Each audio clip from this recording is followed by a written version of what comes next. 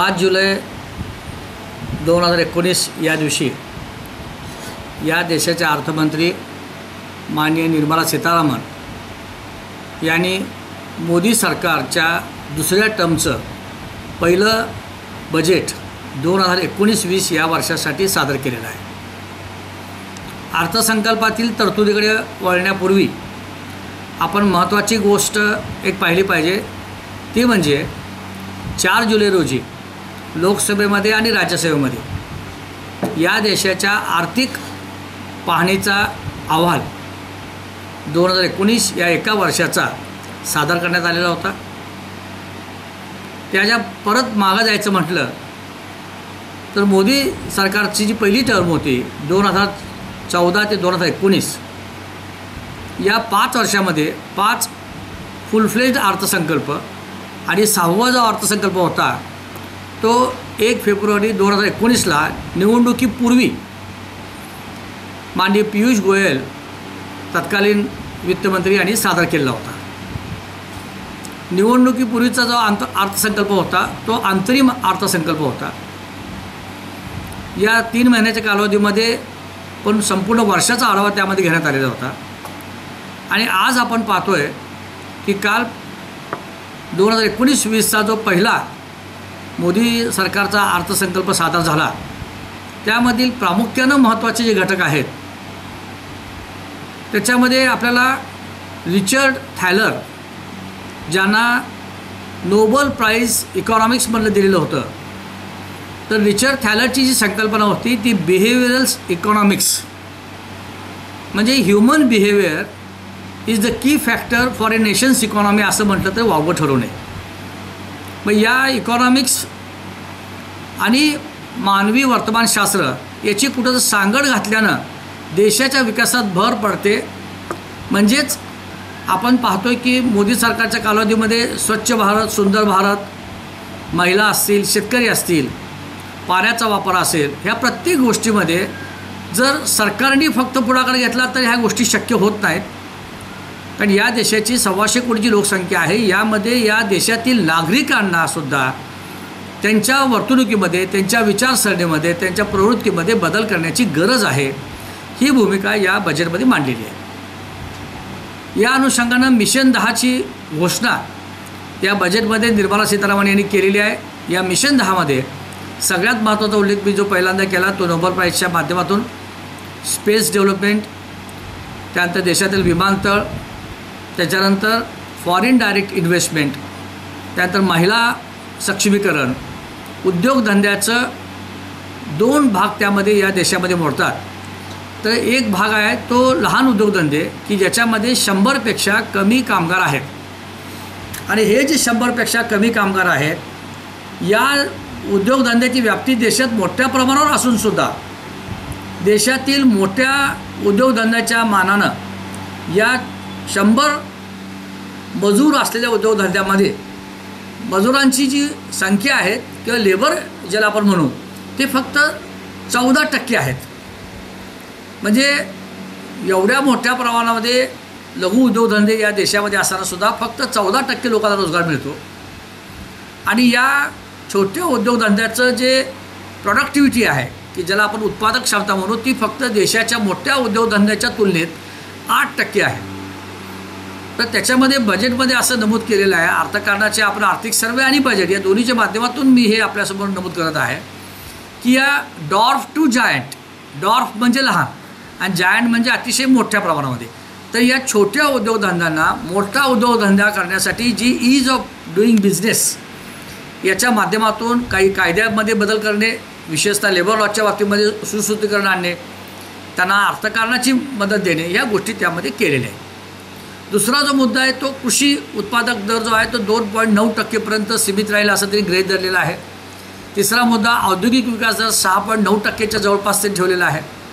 चौथा जो अर्थकारणातला महत्त्वाचा मुद्दा नेहमी अर्थकारणाचे तज्ज्ञ चर्चा करतात तो म्हणजे फिस्कल डिपॉझिट फिजिकल डिफिशिट जे आहे तर फिजिकल म्हणजे डिफिशिट वित्तीय तूट ही साधारणपणे तीन पॉईंट चार टक्केपर्यंत एकूण जी डी पीच्या ठेवण्याचं त्या ठिकाणी धोरण दिसतं आहे कारण विकासामध्ये आपल्याला येणारा पैसा कमी आणि खर्च करावा लागणारा जास्त पैसा या दोन्हीची सांगड घालताना आपलं वित्तीय तुटीचा सामना करावा लागतो.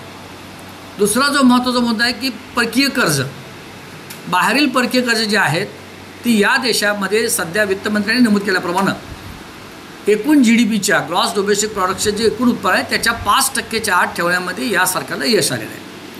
हे सगळ्या गोष्टीमध्ये आकडेवारीमध्ये मी जाणार नाही. कारण रेल्वेसाठी सुद्धा दोन हजार तीसपर्यंत साधारणपणे पन्नास लक्ष कोटीची अपेक्षा विकासात्मक धोरण राबवण्यासाठी व्यक्त केलेली आहे.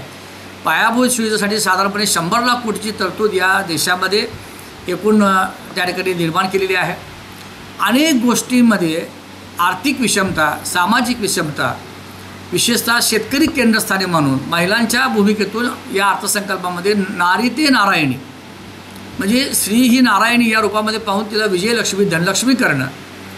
आणि एक उल्लेख असा केलेला आहे की जर या महिलांची शक्ती देशांच्या अर्थकारणामध्ये जर लागली तर सत्तावीस टक्के जी डी पी आपला या देशाचा जाऊ शकतो एवढी ताकद महिलांच्या अर्थकारणामध्ये आहे.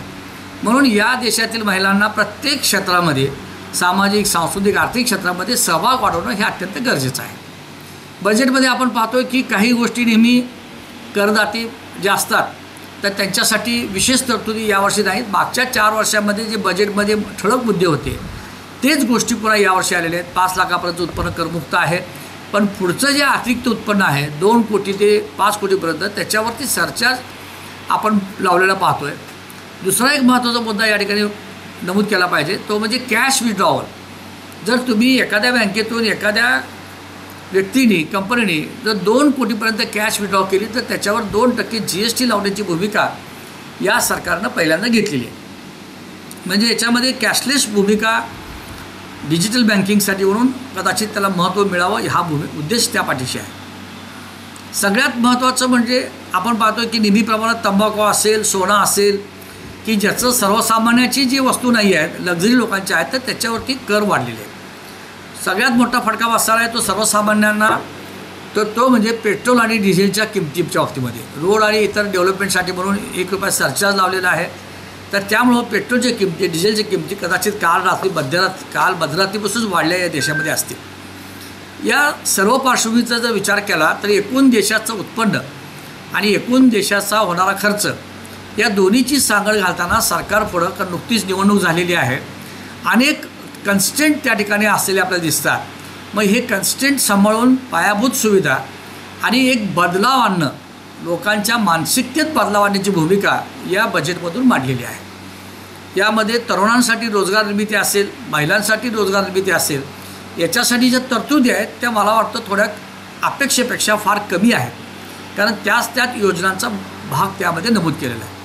आपण सगळ्यात महत्त्वाचा जो विषय आहे तो बँकिंग सेक्टरचा आपल्याला कल्पना आहे की मागच्या तीन वर्षापासून चार वर्षापासून या देशामध्ये अनेक मोठ्या आर्थिक घोटाळे झालेले आहेत. मोठ्या मोठ्या बँकांना त्याचा फटका बसलेला आहे. अनेक बँकांचा एन पी ए हा अतिशय मोठ्या प्रमाणामध्ये नऊ टक्के दहा टक्केपर्यंत गेलेला होता. अनेक बँकांना तोटा सहन करावा लागलेला आहे. या सर्व पार्श्वभूमीवर बँकिंग सेक्टरमध्ये आज निर्मला सीतारामन यांनी जाहीर केलेलं आहे की आम्ही एकीकरण बँकांचं करणार आहोत. देशामध्ये आठच मोठ्या बँका राहतील.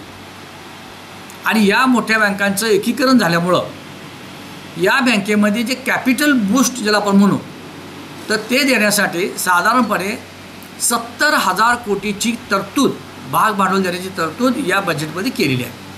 त्यामुळं बँकिंग सेक्टरला थोडाफार प्रमाणामध्ये विशेषतः राष्ट्रीयकृत बँकांना हा दिलासा मिळणार आहे. पण एकूणच पाहता विकासाचा जो दर आहे तो सहा पॉईंट आठवरून यावर्षी सात टक्केपर्यंत राहील असं संभाव्य जलप्रभूनं अपेक्षा व्यक्त केलेली आहे. शेवटी ही अपेक्षा या देशामध्ये आलेला मान्सून कसा येणार? शेतकऱ्यांचं उत्पादन किती होणार? औद्योगिक क्षेत्रामध्ये वेग येणार का नाही? विजेचे एक वन नेशन वन ग्रीड ही संकल्पना मांडलेली आहे. या सगळ्या गोष्टीवरती हा विकास दर साठ टक्क्याच्यापर्यंत नेण्याचं आव्हान हे सरकार पुढं पुढचे नऊ महिने राहणार आहे. दुसरा जो महत्त्वाचा मुद्दा आहे त्याच्यामध्ये नॉन बँकिंग फायनान्स कंपन्यांचा या नॉन बँकिंग फायनान्स कंपन्यांच्या माध्यमातून आपण समाजामध्ये त्या या बँकांचं नॉन बँकिंग फायनान्स कंपन्यांचं मोठं योगदान आहे. तर त्यांना उत्पन्नाचे जे स्रोत आहेत ते जास्त व्याजदराचे आहेत. मग पर्यायाने त्यांच्याकडून दिल दिलेला फंडिंग हा पण वाढण्याची म्हणजे जास्त व्याजाने जाणार आहे. तर त्यांच्या अनुषंगाने काही तरतुदी केलेल्या आहेत. मध्यमवर्गीयासाठी अफोर्डेबल हाऊसेसच्या साठी एक कोटी पंच्याण्णव लक्ष घरांची भूमिका त्या ठिकाणी मांडलेली आहे. रस्ते रोड दिवसाला एकशे पस्तीस किलोमीटर होतील अशा पद्धतीची रचना किंवा अशा पद्धतीची तर तरतुदी त्या ठिकाणी केलेली आहे. या सर्व बजेटच्या पार्श्वभूमीचं एकूणच आपण बघितलं तर हे चित्र थोडं दिशादर्शक आहे असं म्हटलं तर हरकत नाही. मागील चार वर्षापूर्वी जी दिशा घेतलेली होती तीच दिशा ही कायम या दोन हजार एकोणीस वीसच्या माध्यमातून ठेवलेली आहे. हे दिशादर्शक अर्थसंकल्प याला वेग देण्याची भूमिका नीती आयोग असेल किंवा सरकारला मदत करणाऱ्या अनेक ज्या ॲडवायझरी कमिटी आहेत अर्थक्षेत्रातली कमिटी असेल कॉमर्स असेल इंडस्ट्री असेल शिक्षण असेल या प्रत्येक क्षेत्रातील आदिवासी विकास असेल डोंगराळ भागातील विकास असेल तर या सर्व क्षेत्रातील एकूणच होणारी जी वाटचाल आहे ती वाटचाल या देशामध्ये रोजगार निर्मिती कशी होणार आहे? आणि फॉरेन इन्व्हेस्टमेंटला चालना देण्यासाठी सरकारने एक जागतिक पातळीवरची परिषद घेण्याचा निर्णय घेतलेला आहे. ही फॉरेन इन्व्हेस्टमेंटची मोठ्या प्रमाणामध्ये ठेवलेली अपेक्षा कितपत साध्य होते त्याच्यावरती आपल्या विकासाचा वेगसुद्धा बऱ्याच प्रमाणामध्ये अवलंबून राहणार आहे.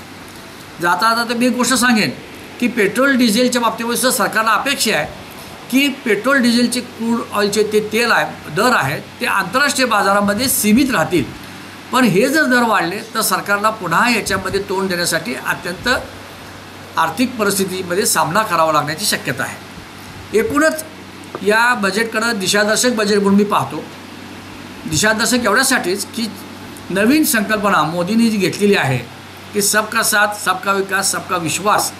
पण हा सबका साथ सबका विश्वास सबका विकास बिहेवियरल इकॉनॉमिक्सच्या माध्यमातून साधण्याचा मोदी सरकारचा प्रयत्न आहे. चांगला प्रयत्न आहे. कारण समाजामध्ये आपण पाहतोय की नॉन गव्हर्मेंट ऑर्गनायझेशन जे असतात एन जी ओचं काम अतिशय महत्त्वाचं असतं महिला बचकाचं महत्त्वाचं असतं. समाजामध्ये इतर अनेक प्रत्येक आपल्या देशामध्ये अनेक अशा संस्था आहेत की मला खात्री आहे की त्यांनी या बजेटच्या बिहेवियरल सायन्सच्या माध्यमातून सुद्धा आपापल्या परिसरामध्ये याची संकल्पना रिचार्ज चॅलेंजची ते राबवण्याचा प्रयत्न केला पाहिजे. कारण गाव करील ते राव काय करेल अशी आपल्या एक भूमिका या ग्रामीण भागामध्ये असते.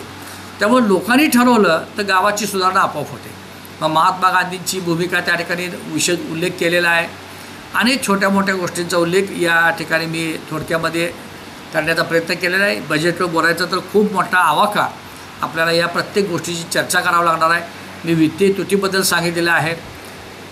परकीय कर्जाबद्दल मी बोलो आहे आणि देशाला असे आहे की इन्शुरन्स जो आहे जनरल इन्शुरन्सचा तर त्याच्यामध्ये सर्व्हिस सेक्टरमध्ये आजसुद्धा जी डी पीमध्ये एकूण इंडस्ट्री ॲग्रिकल्चर आणि सर्व्हिस सेक्टर हे तीन महत्त्वाचे भाग आहेत. त्यामध्ये सर्व्हिस सेक्टरचा वाटा हा चोपन्न टक्केचा आहे. तो आपल्या देशामध्ये वाढतो आहे परंतु इंडस्ट्री ज्याला मॅन्युफॅक्चरिंग म्हणू किंवा इतर मार्केटिंगच्या बाबतीमध्ये किंवा इतर कृषीच्या बाबतीमध्ये दोन हजार बावीसपर्यंत उत्पन्न डबल करायचं शेतकऱ्याची भूमिका आहे. ती मला वाटतं सरकारला फार मोठे कष्ट त्या ठिकाणी घ्यावे लागणार आहेत. डाटा कलेक्शनच्या बाबतीमध्ये सरकारने नमूद केलं आहे की डाटाचा वापर हा योग्य त्या व्यक्तीपर्यंतच होण्यासाठी झाला पाहिजे. म्हणजे जो खरा लाभार्थी आहे त्याला शोधणं त्याचा डाटा होणं आणि त्याच व्यक्तीला मदत मिळणं ज्याला मदतीची गरज नाही त्या व्यक्तीपर्यंत मदत जाता कामा नये. एकूण मागच्या चार पाच बजेट झालेले आहेत. सहावं बजेट अंतरिम होतं. हे सातवं बजेट आहे. पुढचे चारही बजेटमध्ये मला असं वाटतं की विकासाची दिशा ठेवलेली आहे.